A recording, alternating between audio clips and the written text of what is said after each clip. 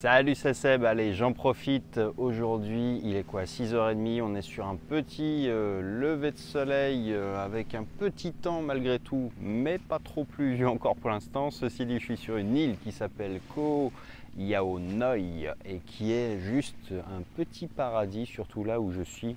Je te ferai quelques images sans doute, mais tu vois qu'on a un petit resort qui est perché en fait euh, dans, la jungle, quoi, tout simplement, et que tu as une vue. Euh, alors, je sais pas si on va bien le distinguer derrière moi, mais c'est euh, des, pitons rocheux et toute la baie de Pangna, en fait, où tu as les fameuses îles que tu as dû voir, comme James Bond Island, qui n'est pas au Vietnam, mais qui était en Thaïlande.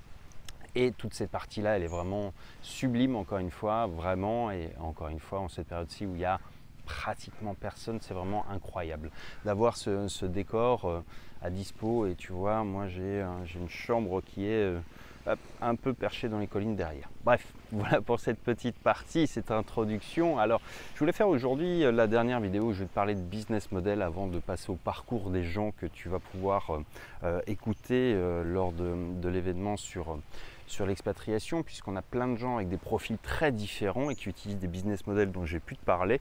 Et il en reste un, un et demi, j'allais dire, euh, pour, pour, boucler cette petite série et puis que tu puisses comprendre finalement, et c'était le but, comment les gens ont pu y arriver aussi parce que ensuite finalement quand tu as euh, un business qui tourne, quand tu as une activité, quand tu as de l'argent, c'est beaucoup plus facile évidemment de t'expatrier ou de devenir un digital nomade. Mais ça implique effectivement d'avoir quand même soit de l'argent, soit un business. Et la plupart du temps, c'est quand même beaucoup plus facile de créer un business que de devenir rentier du jour au lendemain.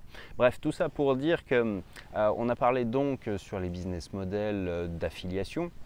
Si tu t'en souviens, si tu t'en souviens pas, je mettrai sans doute des liens pour euh, retrouver ces vidéos. Donc on a parlé d'affiliation, on a parlé de prestation de services, on a parlé de création de formation.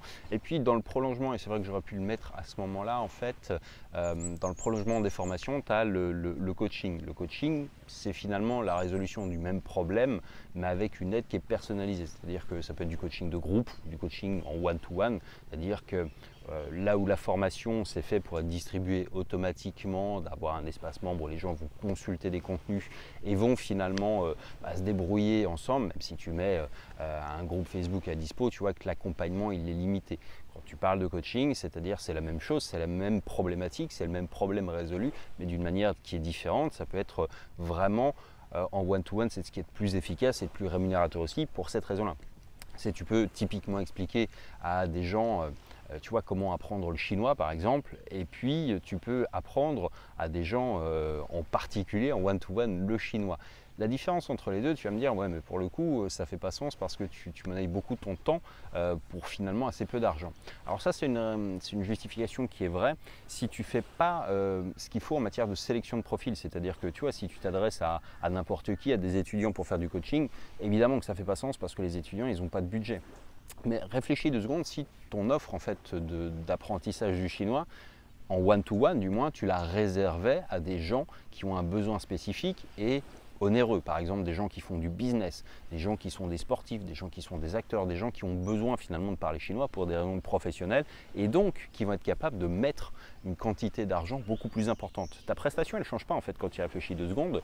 Euh, le problème que tu résous est plus ou moins important ou douloureux pour les gens en fait à qui tu vas la proposer. C'est ça la différence. C'est-à-dire que tout l'idée, toute l'idée finalement, c'est de maximiser aussi euh, bah, finalement euh, un peu euh, le, flux financier que ça génère. Ça veut dire que tu peux aider les étudiants, mais peut-être plus en accompagnement de groupe, au travers d'un groupe Facebook ou, avec la formation, et réserver un coaching vraiment premium et one-to-one à des gens qui ont des moyens importants. Et les moyens importants, ils les mettent quand c'est un enjeu important. Donc c'est important de le comprendre. Ça, ça s'applique dans n'importe quelle autre thématique. Là où tu as des formations, tu as du coaching qui est possible. C'est-à-dire c'est la même chose, simplement je vais t'aider à le faire. Je ne vais pas juste euh, te donner en fait des supports vidéo, écrits ou euh, audio. Je vais également le faire avec toi. On va prendre un rendez-vous toutes les semaines par exemple et puis on va le faire ensemble. Mais vraiment ensemble. évidemment, ça c'est un, un coût qui est très différent. Le coût, c'est très variable. Tu as euh, des gens qui, euh, suivant les thématiques, déjà, euh, tu vois, coach fitness, c'est pas la même chose que coach business ou la même chose que coach développement personnel ou je sais pas, enfin, tu vois.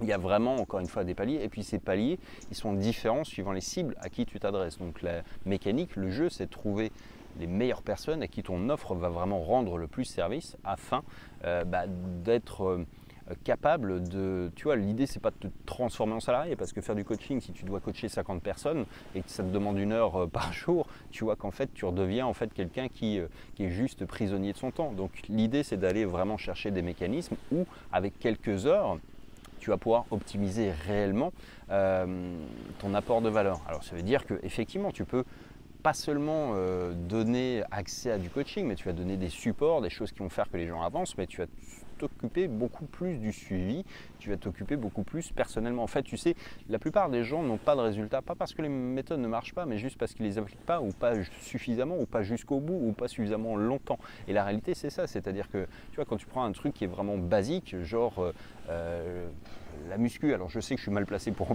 parler vu mon physique, mais ceci étant...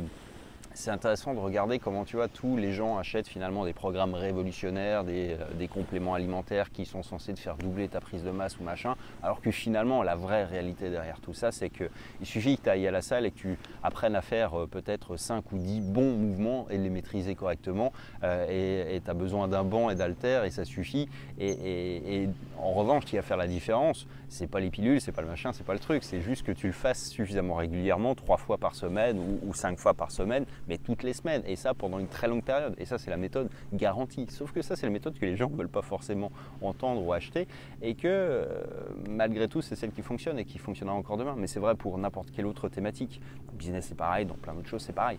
Bref, voilà, petit aparté donc sur le prolongement de la formation, le coaching, c'est quelque chose que je fais également euh, sur, du marketing, sur des opérations, en plus de la prestation qu'on peut faire également. Bref, le dernier business, que, mon business model que j'utilise avec, mon associé qui est développeur, euh, qui s'appelle Julien, eh bien c'est le business model des SaaS, c'est-à-dire Software as a Service. Tu sais, jusqu'à il y a très longtemps en fait, enfin moi quand j'ai eu mes premiers ordinateurs, on avait, on avait Excel, on avait... Euh, toute la suite Office qui était installée exclusivement sur ordinateur. Aujourd'hui, tu n'es pas sans t'en apercevoir, c'est tous les logiciels sont plus ou moins en ligne. C'est-à-dire que Office, tu peux l'avoir en ligne. D'ailleurs, Google a sa suite euh, Office entre guillemets en ligne. Tu as le concurrent de Google gratuit qui est Google Sheet qui est en ligne. tu vois que fait tout ça c'est un mouvement de fond. Dropbox est en ligne, les autorépondeurs sont en ligne et euh, plein de logiciels que tu peux utiliser comme ça sont de plus en plus en ligne. C'est-à-dire qu'on déporte en fait le logiciel vers le web ce qui est une vertu pour le client, c'est qu'il a toujours une version qui est à jour. Euh, ça ne lui demande pas d'installation, un simple navigateur permet de t'y connecter. Et puis pour l'entreprise, en fait, c'est un autre avantage, c'est que au lieu de facturer peut-être 200, 300, 500 euros de licence une fois, et peut-être des mises à jour, tu vas en fait euh, tourner sur un abonnement. C'est-à-dire que tu vas remplacer en fait le truc euh, pour rentrer sur un système où euh, tu n'as pas d'engagement. C'est-à-dire, ok, tu, le logiciel, tu en as besoin moins, tu l'utilises un mois et puis tu te désabonnes et tu te rabonnes quand tu veux. sauf que dans la plupart des cas, effectivement, ce qu'on appelle la rétention, c'est-à-dire le temps pendant lequel les gens restent abonnés, il est beaucoup plus long que ça. Et ce qui fait que bah, tu peux construire un business qui est un business j'aime pas ce terme de passif parce qu'il n'est pas passif, ça demande de l'entretien, ça demande etc. Mais tu as des revenus qui tombent automatiquement du moins et qui sont assez prédictibles finalement parce que tu sais quand tu as 100 clients, bah voilà, tu en as euh, la plupart qui vont rester euh, sur les 6 prochains mois et donc euh, ton chiffre d'affaires, il est lisible finalement. Et, euh, ça a permis aussi un, point qui est intéressant, c'est diviser les coûts. C'est-à-dire que finalement, plutôt que de te demander euh, peut-être 500 ou 1000 balles de licence, ce qui est compliqué à vendre parce que les gens réfléchissent, euh, bah, on va te demander peut-être 20 balles par mois. et tu vois que c'est une autre manière de fonctionner. Tous les services en ligne comme iCloud par exemple, musique, Spotify, sont des services en ligne où avant tu achetais la musique, elle était sur ton ordinateur, maintenant elle n'est pas sur ton ordi. Enfin, tu peux la télécharger via l'application entre Mais tu vois que l'idée c'est ça, c'est que tu as accès, euh, plutôt que d'avoir euh, l'intégralité du catalogue musical du monde entier, euh, ou presque, tu vas en avoir la plus grosse partie accessible via ton navigateur web ou via des applications sur ton smartphone. Donc c'est ça en fait les software as a service, et tu payes pas cher, tu payes, tu payes je sais plus combien c'est, c'est 10 balles par mois ou un truc du genre. Enfin, tu vois, quand tu viens d'une époque où, où, moi quand j'étais môme, bon déjà on a commencé avec les cassettes. Donc les cassettes c'était autre chose. C'était beaucoup plus, euh, beaucoup plus pénible de trouver ce que tu voulais, surtout quand tu étais dans une petite ville. Et puis au-delà de ça, ensuite, on a eu le CD, mais le CD, c'était beaucoup plus cher que ça aussi. Quoi. Euh, donc, t'achetais un CD par mois, tu étais, au-delà de ces coûts-là. Donc finalement, c'est un bon deal quand tu regardes bien. Alors évidemment, il faut le consommer suffisamment pour que ça soit pertinent, mais en substance, c'est pas une mauvaise évolution quand on y réfléchit deux secondes d'un point de vue musical et puis, euh, et puis utilité. C'est-à-dire qu'aujourd'hui, une telle production musicale aussi que tu es, sans doute un peu plus à même de consommer largement d'autres artistes grâce à ce type de mécanisme. Bref, ça, ça s'appelle donc les, les services en ligne, si tu veux, pour faire très simple.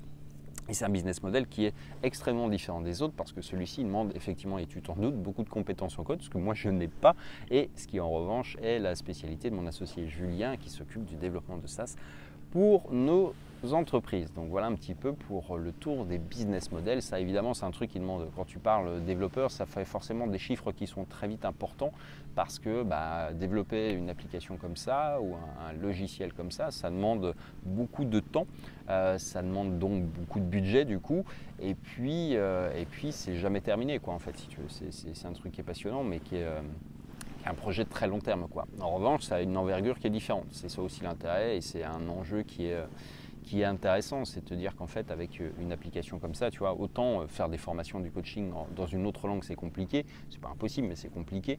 Euh, autant en fait un, logiciel en ligne, il suffit de traduire des variables pour qu'il soit multilingual, c'est-à-dire qu'il passe du français à l'anglais. Alors tout le marketing évidemment va devoir être refait en anglais et dans d'autres langues si tu t'intéresses à d'autres langues, mais tu vois que la possibilité elle existe.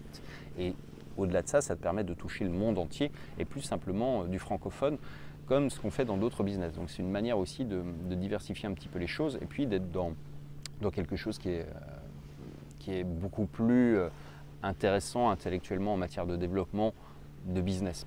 Bref, voilà pour les business dont j'ai parlé, en fait, si on résume tout ça, et c'est les business que moi j'utilise et que la plupart des gens euh, que tu entendras en fait au cours de l'événement utilisent aussi. Euh, il y en a d'autres, évidemment, il y en a plein plein d'autres. Euh, il, y a, il, y a, 10 000 manières de faire de l'argent en ligne aujourd'hui. Le but du jeu, c'est de choisir quelque chose qui, qui soit fonctionnel. et ça, c'est vraiment des, des, trucs qui sont intemporels pour l'instant et qui marcheront encore pour des années, ceux que je t'ai présentés. Les autres, après, tu as toujours des nouvelles opportunités tu as des gens qui font la crypto, tu as des gens qui font euh, du trading, tu as des gens qui font l'investissement immobilier, tu as des gens qui vont écrire des Kindle et qui vont en faire un business. Tu as, mille manières, encore une fois, de gagner de l'argent. Euh, tu as de l'e-commerce aussi, évidemment. Alors moi, j'en fais pas euh, parce que c'est compliqué de tout faire. Et puis, et puis parce que ça ne me passionne pas, à vrai dire, mais c'est aussi une option qui existe. Je ne parle pas forcément de dropshipping d'ailleurs, mais, mais d'e-commerce tout court. tu as des gens qui utilisent Amazon, qui ont créé des boutiques énormes sur Amazon. Enfin bref, il y a, y a vraiment, encore une fois, beaucoup d'opportunités aujourd'hui. Simplement, c'est compliqué de choisir la bonne et puis d'arrêter de, de papillonner. C'est un peu plus ça la difficulté. Donc voilà en fait pour euh, les business models que moi je connais, que j'utilise et que je continuerai à utiliser pour les années qui viennent du moins. Euh, et puis on va, hum, on va se rejoindre donc dans la prochaine vidéo. Je pense que je vais commencer à, lancer un petit peu les extraits des, différentes interventions. Et tu vois, moi là je vais aller en profiter pour faire un petit tour sur la plage tant qu'elle est euh, vraiment déserte pour le coup et, et un peu pareil là. On a le lever du, soleil qui se prépare gentiment. S'il arrive à percer les nuages, et ça va être encore une fois une belle journée. Allez, je te dis à très vite dans la prochaine. Ciao